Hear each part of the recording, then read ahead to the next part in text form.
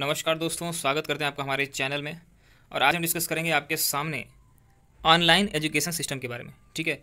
हाल ही में Covid nineteen के मद्देनज़र अब धीरे धीरे शिक्षा के अन्य जो पैटर्न हो सकते हैं या विकल्प हो सकते हैं, उनको तलाश करने की बात चल रही है। सो अगर बात करें हम मानव संसाधन विकास मंत्रालय की तो उन्होंने गाइडलाइन जारी किया है कि उच्च शिक्षा के लिए, जैसे आप, हम जानते हैं कि एनपीटीईएल और आपका स्वयं जैसे मंच, ऐसे माध्यम हैं जहाँ पे massive open online course M O O C S आपको मिल जाता है। अब N P T A L पहली बात तो एग्ज़ाम के लिहाज से पहले ये समझो कभी कभी छोटे एग्ज़ाम्स में ग्रुप डी ग्रुप सी के एग्ज़ाम में आपसे केवल इतना ही पूछ सकता है कि क्या आप N P T A L का फुल फॉर्म जानते हो क्या? तो इसको, इसका फुल फॉर्म समझिएगा। National programme on technology enhanced learning फिर से समझिएगा। National programme on technology enhance learning इसको एन पी टी एल के नाम से जानते हैं। और दूसरे ऐप जिसकी मैं चर्चा कर रहा हूँ, वो है study based of active learning for young aspiring minds, ठीक है? तो ये आपका स्वयं इसको शॉर्टकट में बोलते थे, एन और स्वयं, दो ऐसे मंच हैं जो ओपन ऑनलाइन कोर्स को ऑफ़र करते हैं। अब यहाँ पे समझने वाली बात है, क्योंकि हम हमेशा चर्चा इस समय कर रहे हैं कि जितने भी कोर्स हैं, उच्च शिक्षा की मैं बात करूँ तो यदि भगवान की कृपा से आपने बीटेक किया हुआ है तो ऐसा लगभग कोई छात्र नहीं होगा जो एन के बारे में नहीं जानता हो। उसमें एक्चुअली होता क्या है कि जो जितने भी बड़े एन हैं, उनके प्रोफेसर आकर के एक कोर्स डेवलप करके आपको उसको प्रोवाइड करते हैं। जैसे मान लीजिए कि कोई मैकेनिकल का बंदा है, ठीक है? उस मैकेनिकल वाले को अगर कोई पर्टिकुलर सब्जेक्ट जैसे स्ट्रेंथ ऑफ़ मटेरियल पढ़ना है और उसको सबसे अच्छी सामग्री ढूंढनी है तो उसका सबसे बढ़िया तरीका है कि एनपीटीएल की वेबसाइट पर जाइए। आपको वहाँ पर फ्री ओपन एसेस करके आपको ऑनलाइन कोर्स वहाँ पर उपलब्ध है। ठीक है, कुछ फ्री है, कुछ आपको चार्ज लगता है, लेकिन हाँ ये है कि ओपन फॉर ऑल होता है। तो ये बातें हैं जिसको आप समझ सकते हैं। तो एक्चुअली अब यहाँ पे हम एक समझने वाली बात यह है कि ऑनलाइन कोर्स की इतनी ज़्यादा बातें क्यों चल रही हैं? ठीक है, उसके पीछे की वजह क्या हो सकती है? उसको प्रोत्साहित ही क्यों किया जा रहा है? न किया जाए।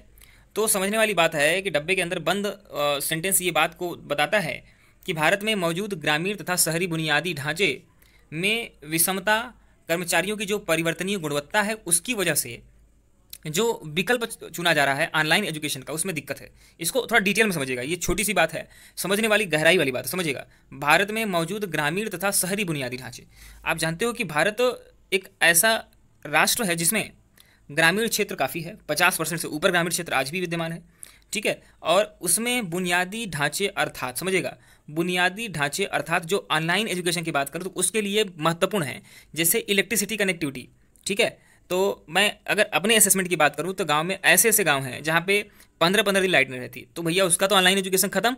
दूसरी बात, अब वो ऐसे उपलब्ध जो इलेक्ट्रॉनिक उपकरण हैं, वो सब हर गरीब आदमी कैसे अफोर्ड करेगा? ये है आपका बुनियादी ढांचा। तीसरी बात ये है इंटरनेट कनेक्टिविटी अच्छी नहीं है। ठीक है तो इलेक्ट्रिसिटी इंटरनेट कनेक्टिविटी और मैंने आपको बताया कि बुनियादी ढांचे। तो ये कुछ दो तीन ऐसी बातें हैं, अगर इतने को ही आप समझ लें तो आपको समझ में आ जाएगा कि ऑनलाइन एजुकेशन जो कोविड नाइन्टीन में एजुकेशन प्लेटफॉर्म का एक विकल्प हो सकता था, वो क्यों नहीं हो सकता? उसके पीछे कठिनाई क्या है? आगे समझते हैं। दूसरी की, तीसरी कठिनाई क्या है? कि जिन विषयों की पढ़ाई के लिए, जिन विषयों की पढ़ाई के लिए प्रयोगशाला तथा प्रयोगात्मक अवयवों की आवश्यकता होती है, ऑनलाइन शिक्षण उनका विकल्प नहीं हो सकता।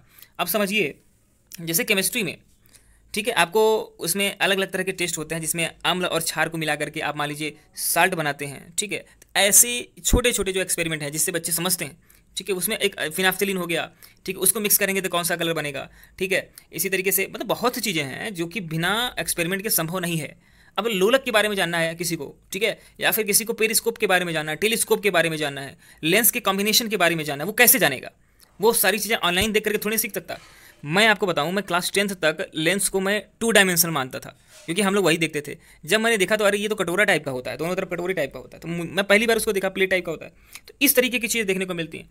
तो ये कहीं ना कहीं ऑनलाइन शिक्षण में ये विकल्प नहीं हो सकता।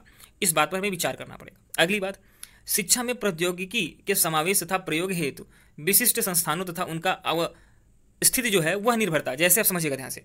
बैंडविड्थ की बात करें और विश्वसनीय कनेक्टिविटी की बात करें, ऐसा हर जगह नहीं है कि इंटरनेट कनेक्टिविटी अच्छी है। अच्छे अच्छे कॉलेज के आसपास भी इंटरनेट कनेक्टिविटी अच्छी नहीं है। तो उस समय ये बात देखने को मिलती है कि इसमें डिजिटल विभाजन होता है, ठीक है? और वित्तीय जो स्रोत हैं, उसमें भी पहुँचने में विषमता होती है। कहने का मतलब कि हर आदमी गरीब है या अमीर है इस बात को सोच करके। दूसरी बात, हर आदमी को इंटरनेट की उपलब्धता है कि नहीं है? हर गरीब और अमीर आदमी को इलेक्ट्रिसिटी मिल रही है कि नहीं मिल रही है? ये बातें समान तो नहीं हो सकती ना?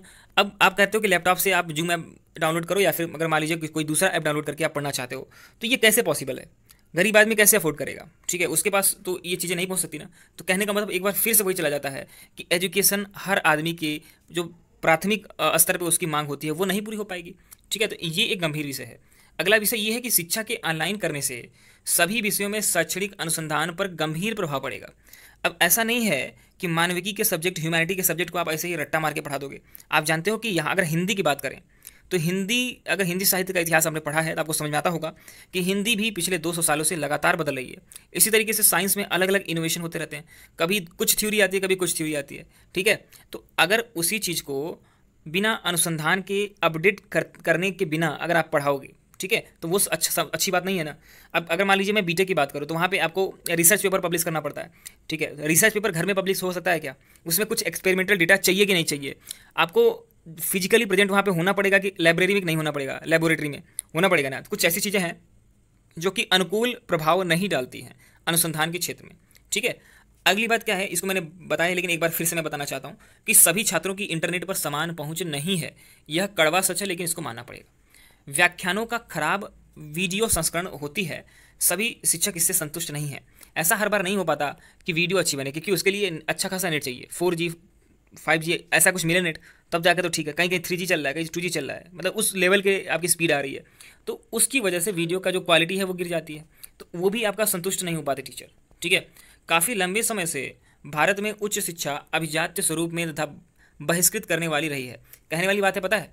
एक पता, अजीब सा ट्रेंड बन गया है कि हायर एजुकेशन में 90 परसेंट ये मैं नहीं कहता, ये कई ऐसे स्रोत हैं जिनके माध्यम से ये बात आप साबित कर सकते हो कि 90 परसेंट जो स्नातक हैं वो बेरोजगार, बेरोजगारी के काबिल हैं, ठीक है, ऐसा माना जाता है।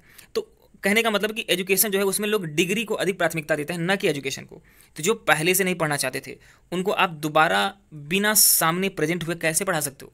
ये पॉसिबल लगता है क्या? सो शिक्षा ज्ञान अर्जन के बारे में कम तथा डिग्री हासिल करने के बारे में अधिक हो चुकी है। यह बात कड़वी सच है, लेकिन इसको माननी पड़ेगी। हमारे हायर एजुकेशन की बात करें तो ऐसा कोई भी संस्थान नहीं है जो कम से कम डेढ़ सौ टॉपमोस्ट संस्थान, वर्ल्ड के टॉपमोस्ट संस्थान में आ सके। तो ये कहीं ना कहीं हमारे एजुकेशन सिस्टम को चुनौती है, उसको हमें स्वीकार करना चाहिए। थोड़ा कड़वी है, लेकिन समझना चाहिए। अब शिक्षा में जो सुधार के उपाय हैं, वो क्या हो सकते हैं? गांधी जी की अवधारणा है कि नई तालीम में स्व अध्ययन तथा अनुभवात्मक ज्ञान प्राप्त हो।